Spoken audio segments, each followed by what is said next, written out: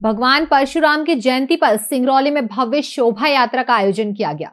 इस अवसर पर भक्तों ने 21 पुरोहितों के मंत्रोच्चार और शंखनाद के बाद वाहनों से रैली निकाली, जिसका जगह जगह लोगों ने पुष्प वर्षा से यात्रा का स्वागत किया। सिंगरौली ज़िले के बैठन रामलीला मैदान में भगवान विष्णु के छठवें अवतार, भगवान परशुराम का जन्मोत्सव बड़े धूमधाम के साथ मनाया गया, जिसमें मुख्य अतिथि के रूप में शेड्यूल कमिश्नर राजीव शर्मा ने शिरकत की। कार्यक्रम की शुरुआत 21 पुरोहितों के मंत्रोच्चार और शंखनाद से की गई, जिसके बाद भव्य शोभा यात्रा निकाली गई।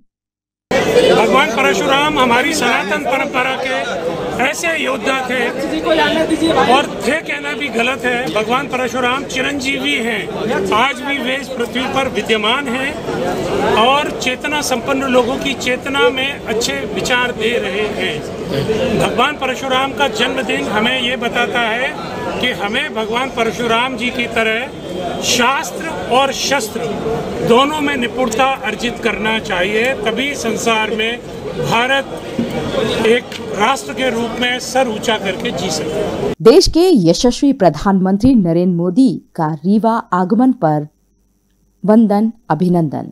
उनके द्वारा सत्रह हज़ार करोड़ की लागत वाली परियोजनाओं की आधारशिला सहित पंचायती राज दिवस पर देश भर की ग्राम सभाओं को संबोधित किया जाएगा। उनके द्वारा चार लाख से अधिक लाभार्थी को गृह प्रवेश कराया जाएगा। प्रधानमंत्री के रीवा आगमन पर बहुत बहुत बधाई। सौजन्य से वरिष्ठ पांडे, प्रदेश सह संयोजक सांस्कृतिक प्रकोष्ठ।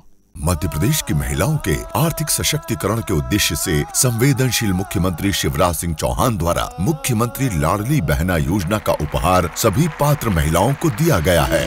इसके तहत उन्हें प्रति माह एक हज़ार रूपए दिए जाएँगे। ये राशि सीधे उनके बैंक खातों में पहुंचाई जाएगी। योजना की प्रक्रिया बेहद सरल और निशुल्क है।